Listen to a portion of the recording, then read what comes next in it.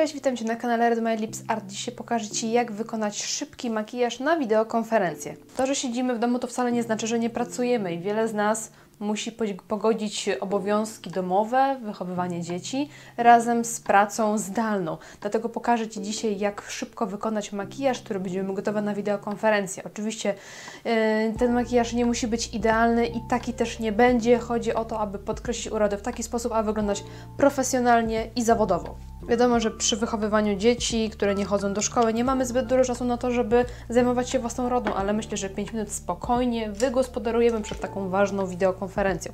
I to, co ja robię, zaczynam sobie od korektora, bo być może okaże się, że taki korektor nam wystarczy, że nie będzie trzeba nakładać już nic więcej. Pamiętajcie o tym, że przez y, Skype'a, czy przez Zooma, czy inne tego typu aplikacje, tak naprawdę ta nasza buzia nie jest wyraźna, nie jest, y, wiecie, ostra i takie jakieś tam drobne niedoskonałości nie będą wcale widoczne, więc wcale nie musimy się koncentrować na tym, aby po prostu to wszystko było takie bardzo, bardzo perfekcyjne.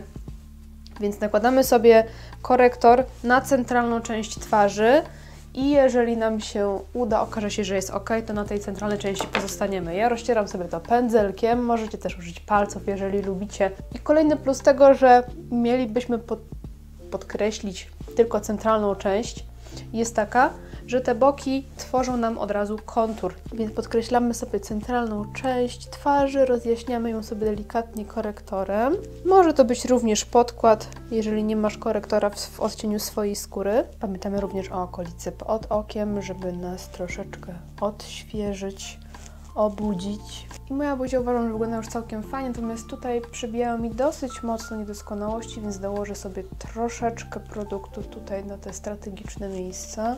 Pamiętajcie, że tutaj nie musi być idealnego krycia, bo nikt na Skype tego nie zauważy. Jak już baza jest przygotowana, to warto przejść do różu. Zachęcam do tego, aby tego kroku nie pomijać, ponieważ róż dodaje nam właśnie życia, ożywia nas troszeczkę i sprawia, że wyglądamy na bardziej, wiecie, zdrowych, na bardziej wypoczętych, na bardziej wyspanych i tak. I nakładam na policzki. Pamiętajcie, że możemy nałożyć tym razem troszeczkę więcej tego różu, ponieważ kamera Skype'a troszeczkę będzie zjadać naszej jakości, więc żeby było bardziej widocznie, może tego różu być odrobinkę więcej.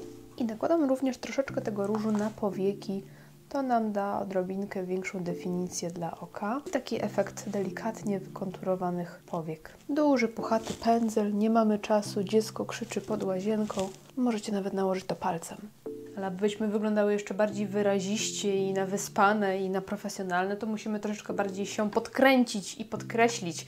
Więc zaczynamy sobie od brwi. Ja będę zaczynała od żelu do brwi, którym wyczeszę sobie włoski do góry i delikatnie je przyciemnię, bo ten żel akurat również ma delikatnie przyciemniające właściwości.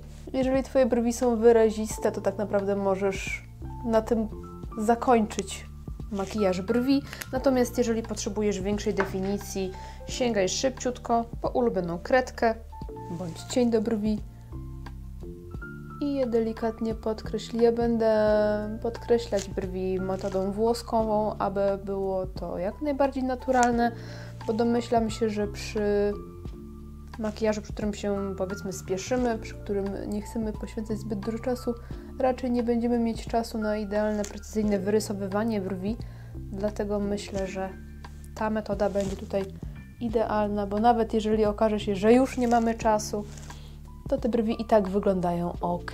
Ale z czym byłby makijaż bez podkreślenia rzęs? Wiem, że większość z nas nie wyobraża sobie bez niego naszego codziennego makijażu, dlatego też e, warto by było z niego skorzystać. Ale zanim pomaluję rzęsy tuszem do rzęs, podkreślę je podkręcę troszeczkę zalotką, aby nasze oko wyglądało na jeszcze bardziej otwarte, jeszcze bardziej wyspane. Dzięki temu będziemy mogły pominąć kolejne kroki podkreślania i być może wystarczy nam tylko maskara.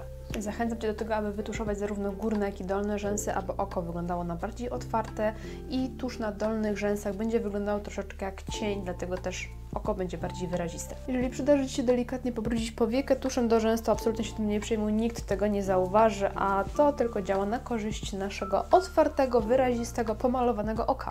Przejdźmy do makijażu ust i aby wyglądać jak najbardziej profesjonalnie, używajmy pomadki w odcieniu zbliżonym do naszego koloru ust, ale lepszym, czyli coś, co nam delikatnie ten kontur przyciemni, nasz kolor ust przyciemni. I kochani, makijaż w 5 minut jest gotowy, tak możemy zaprezentować się naszemu szefowi, przełożonemu czy innemu menadżerowi. Kochani, mam nadzieję, że ten film będzie dla Was przydatny i że będziecie mogli skorzystać z niego przy najbliższej okazji. Także kochani, dziękuję Wam za oglądanie. Trzymajcie się do następnego, papa.